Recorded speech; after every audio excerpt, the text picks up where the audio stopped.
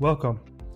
In this video, we'll explore chronic obstructive pulmonary disease, or COPD, a serious and progressive lung condition that affects over 300 million people worldwide.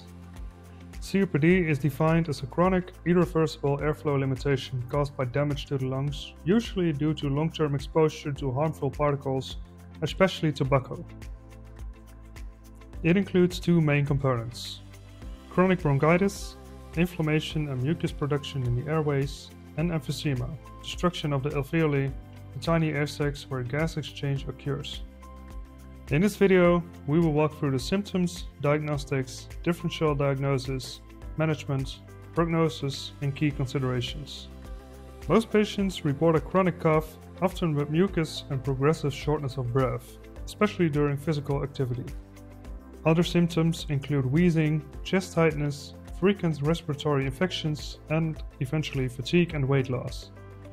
These symptoms develop slowly over years and are often ignored until significant lung function is lost.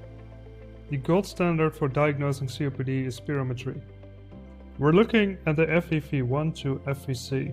A post bronchodilator FEV1 slash FVC ratio below 0.7 confirms airflow limitation.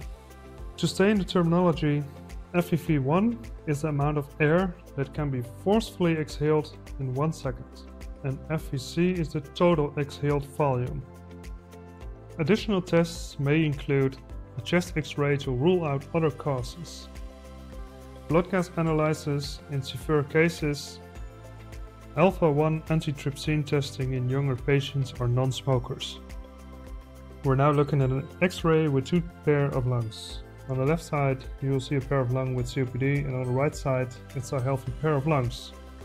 The first things that I notice when I look at these x-rays is that the lungs are hyperinflated.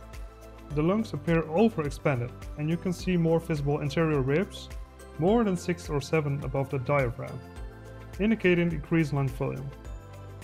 If we take a look at the diaphragm, it's more flattened, the diaphragm is less dome-shaped and it appears flat, which is typical in hyperinflation though. There's increased retrosternal lucency. Due to hyperinflation, there's more air space between the sternum, which also can be seen on PA views. If you take a look at the heart, it's elongated and vertical. It's a result of lung overinflation compressing the heart.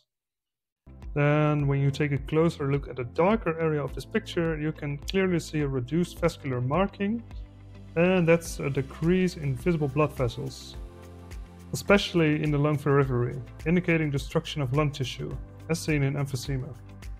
Several conditions can mimic COPD, so it's essential to consider the differential diagnosis. Asthma usually has an earlier onset and is often reversible, heart failure, which can also cause breathlessness and fatigue, bronchiectasis and interstitial lung disease may show similar patterns on imaging or spirometry. A good clinical history and targeted testing help to clarify the diagnosis.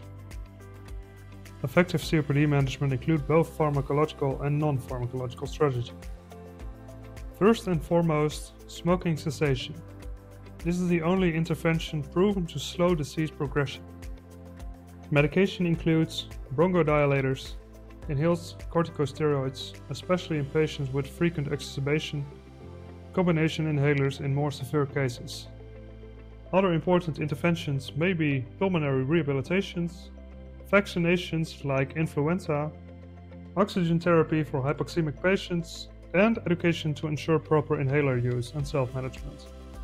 COPD is a progressive disease Lung function gradually declines, especially if the patient continues smoking or has frequent exacerbations. However, with early diagnosis, smoking cessation, and proper treatment, many patients can maintain a good quality of life for years. Prognosis varies based on disease severity, comorbidities, and access to care. If we summarize the key points of COPD, COPD is a chronic lung disease with irreversible airflow limitation. It's most commonly caused by smoking. It's diagnosed with spirometry, treated with inhalers, rehab, and lifestyle changes. It's preventable, manageable, but it's not curable. Early recognition and intervention make a big difference. Thank you for watching this video. If you found this video helpful, give it a thumbs up, subscribe for more medical content, and share it with your colleagues. Stay informed and stay healthy.